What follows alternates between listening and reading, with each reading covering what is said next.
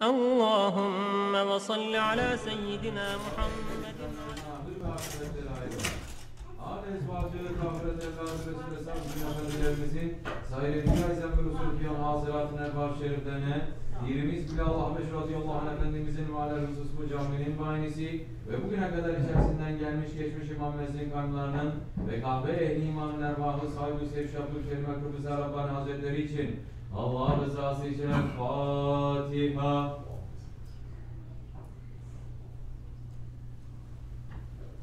Euzu billahi mineşşeytanirracim. Bismillahirrahmanirrahim. İnna Allah ve melâiketehu yusallûne alen nebi. Ya eyyühellezîne amenü sallu aleyhi ve sellim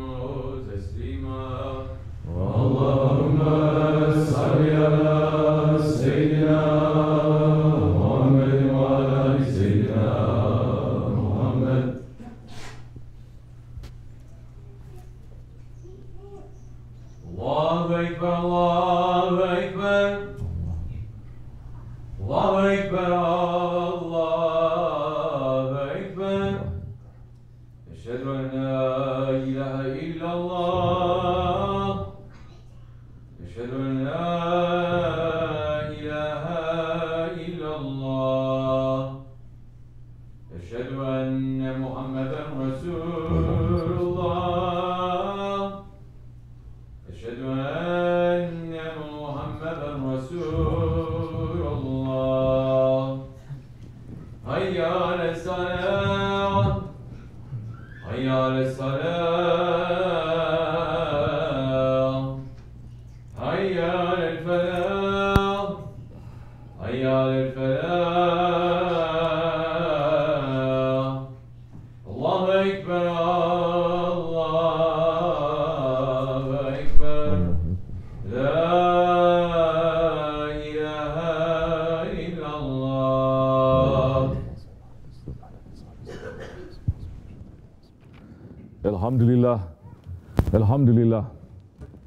الحمد لله رب العالمين والصلاة والسلام على رسولنا محمد وعلى آله وصحبه أجمعين. نحمد الله تعالى ونستغفر ونشهد أن لا إله إلا الله وحده لا شريك له. نشهد أن سيدنا محمد عبده وحبيبه ورسوله صلى الله عليه وعلى آله وأزواجه وأصحابه التابعين خلفاء الراشدين المهديين من بعده. وزلمتي على تحقيق خصوصا من علامات خلفاء رسول الله على تحقيق أمر المؤمنين.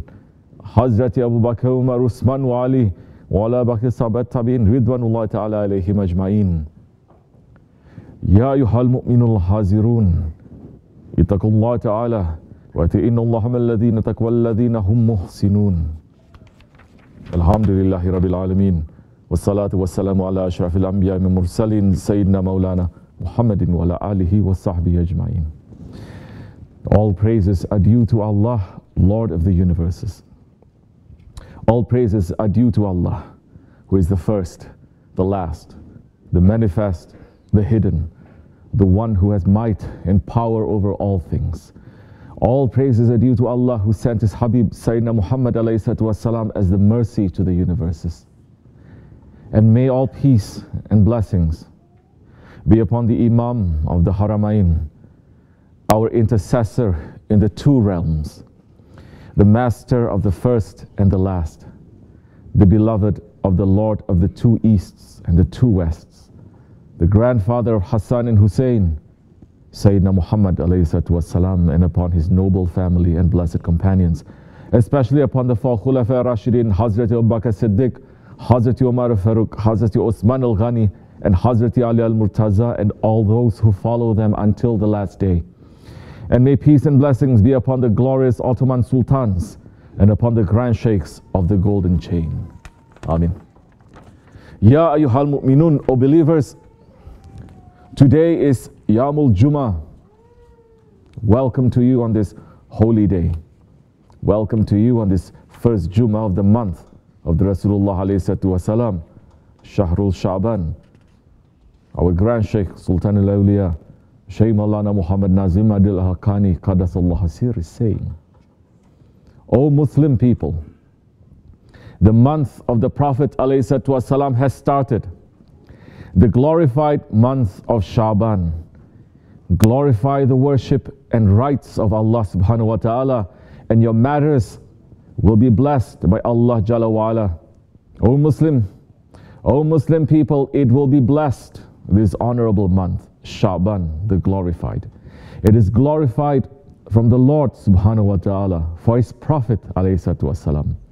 Mubarak for us and for you, for the Muslim people and all the people of the world. Give this holy month a lot of value. Allah subhanahu wa ta'ala created creation for the sake of his beloved والسلام, and sent him as a mercy for all creation. Glorify him. Give value to his message. Listen to his words and follow him. You will be saved. O believers, this is the month of the Holy Prophet. ﷺ. This is the month between the month of Allah and the month of the Ummah. Inshallah Rahman, we will not slow down in this month or become lazy in this month. This is the month that we are in.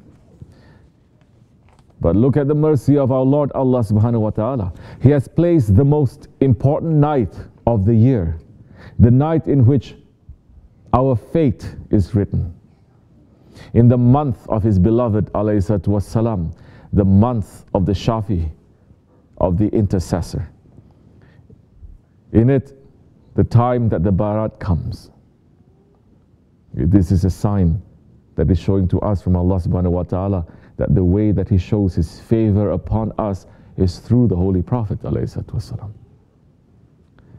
This month is a time for the believers' hearts to wake up to the love of the Holy Prophet. But what does it mean to love him? Today, in this age, of Ahir Zaman. So many are trying to answer this question from their own egos. And what they do is that they paint a picture of the Holy Prophet والسلام, according to their own ego. They do not learn who the Holy Prophet والسلام, is. Instead, they invent a version of the Prophet والسلام, that is convenient to their own lifestyles and they run after that. This is worse than drawing pictures of the Prophet or making cartoons of him. So, the Wahhabis are saying, painting one picture, the Prophet is not special and he is no different than you and me. They say if you love the Prophet ﷺ, then don't send salawat on him, don't make his mawlid, don't love his family, don't honor him, don't praise him. That is one group. And that is one picture. Then there are those who have emerged in this Ahir of Ahir Zaman. And they are using the khirka, the cloak of tasawwuf. But it is to trick the people to go to the wrong path. There are those who are described in the Hadith Sharif when Holy Prophet ﷺ said, There will appear in the later days men who confuse the world with the religion, deceiving the people in soft skins of sheep with words sweet as honey but they will have the heart of a wolf. Allah will say, They want to deceive me, they want to defy me. I swear by myself, I will send a tribulation upon them that will cripple the most patient among them. And that group is saying, loving Holy Prophet ﷺ means you are allowed to do anything that you want. They say, Holy Prophet ﷺ, he loved everyone unconditionally. He was never angry. He never showed any jalal. He never judged anyone. He never stood up for haqq. Astaghfirullah Those who say this is trying to make a wrong Christian version of Islam. To say that no matter what you do, and you are free to do it. You will be forgiven. That is not Islam. Islam is perfect and it does not need to change. And what they are describing is not the Holy Prophet. ﷺ. They are painting another picture of him. Because the Holy Prophet ﷺ, he is perfect in every respect. He is the most honored in the divine presence. Yes, he has been sent as the giver of good tidings, but he has also been sent as the warner. And in these days of confusion, in these days of Ahir Zaman, in these days when they are ready to send the flood of fire to engulf the whole world, we are in need of him as a warner, and we're in need of people warning. He always stands for Haqq. He brought the laws of Allah to the earth to bring justice. And yes, Holy Prophet ﷺ used to show Jalal. As Hazrat Ali Karamallah Wajh is saying, the Prophet did not get angry for any worldly matter. When any true matter, true matter, matters that deal with haqq, angered him, he never harmed anybody and nobody got up to take revenge for his anger. He became angry only for the sake of haqq. The Holy Prophet ﷺ, he is beyond what any of us can imagine with our minds. He is the beloved of Allah. As Imam al-Busri, Qadasullah Sir, the composer, that Wali Allah, that friend who wrote the Qasidat al-Burda, he's saying, he is the one whose meaning and form were perfected and then the originator of souls chose him as the beloved. Incomparable. His beauty has no equal. The essence of beauty itself is in his nature. Leave aside what the Christians have claimed for their prophet. Then praise him as you like, but do so wisely. Ascribe to his essence whatever you wish of honor and attribute to his exalted status what you will of greatness. Truly, the messenger of Allah's greatness cannot be given justice by two lips and a tongue. So, what is the way to learn who the Holy Prophet ﷺ is? What is the way to show our love for him? Allah subhanahu wa ta'ala Himself, Jalawala, is telling us in the Holy Quran. Bismillahir Rahmanir Rahim. Say, Ya Muhammad, say to them, if you should love Allah,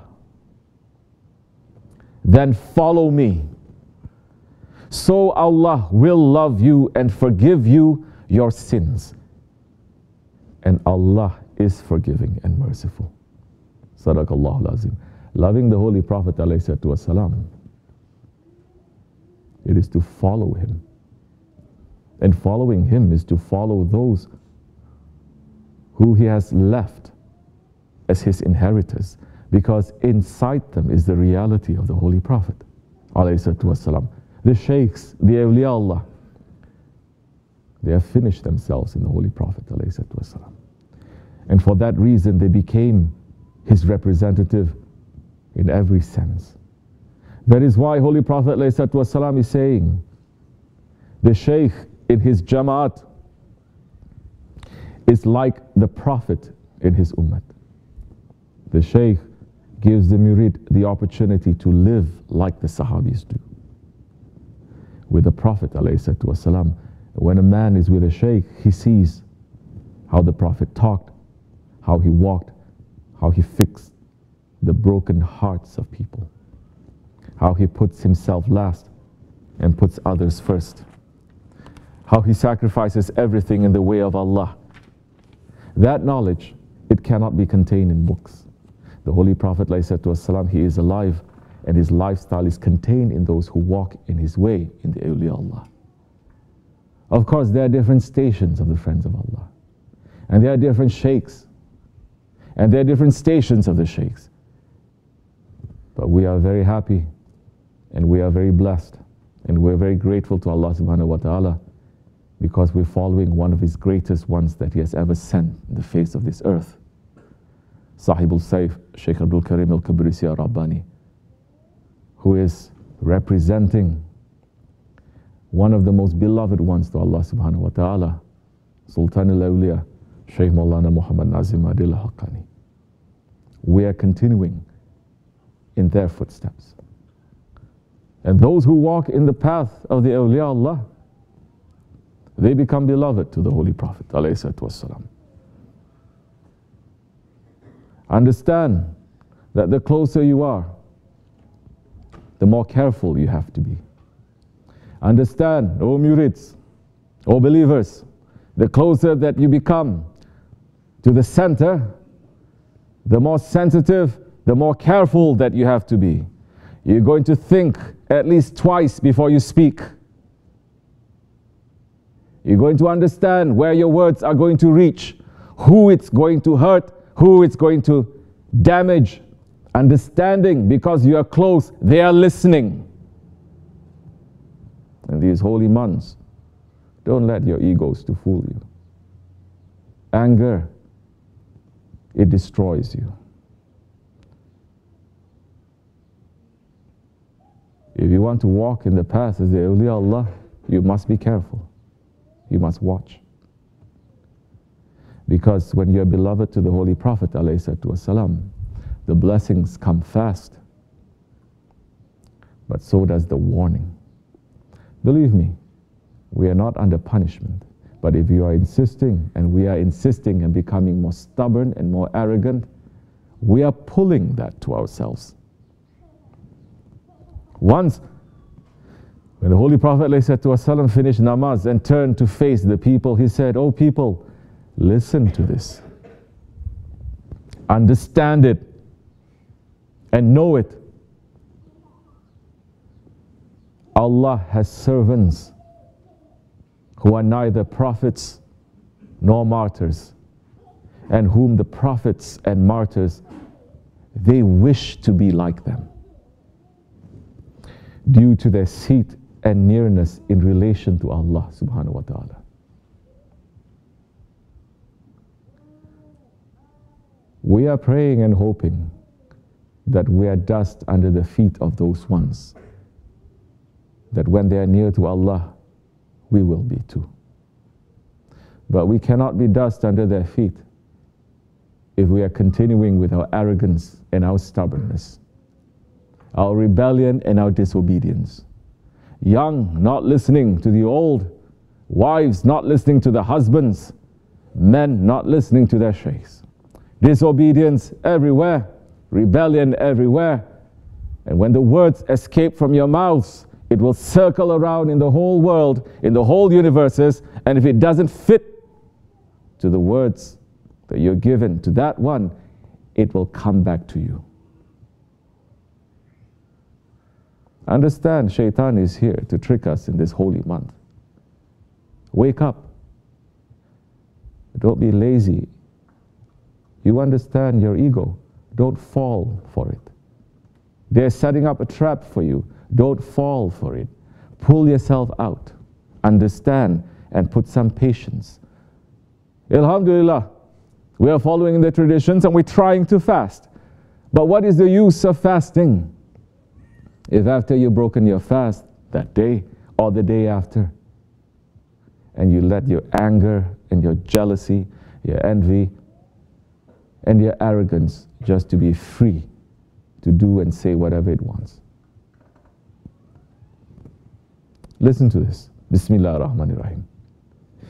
One of the Bedouin Arabs who came from among the most isolated of people twisted his hand uh, the Prophet والسلام, he pointed his hand at the Prophet and said, O Messenger of Allah, a people from humankind who are neither prophets nor martyrs, and yet the prophets and the martyrs wish to be like them due to their seat and nearness in relation to Allah. Describe them for us. The Prophet ﷺ, his face showed happiness and delight at the Bedouin's question. And he said, They are of the strangers from this and that place. They frequent this or that tribe without belonging to them. They do not have family connections among themselves. They love one another for Allah's sake. They are of pure intent towards one another. On the day of judgment, on the day of resurrection, Allah will place for them pillars of light upon which He will make them sit. And He, subhanahu wa ta'ala, will turn their faces and their clothes into light. On the day of resurrection, the people will be terrified, but not those ones. They are Allah's friends, upon whom fear comes not, nor do they grieve. And the Prophet speaks the truth. O believers, we should aim for that. We should aim to be in that company, to be of those people.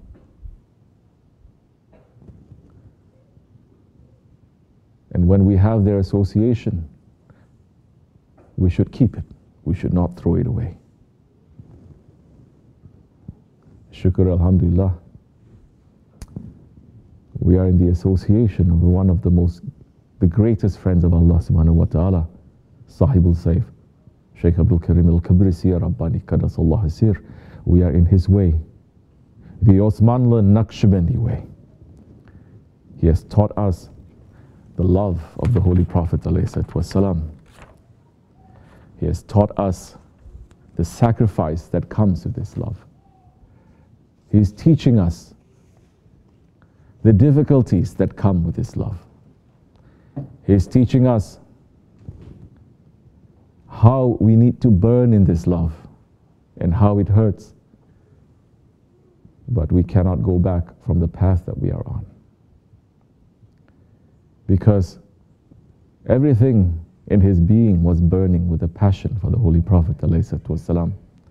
And that passion made him run in the way of Allah and to teach us to run in the way of Allah. That way is continuing. Alhamdulillah We should continue to run in this way.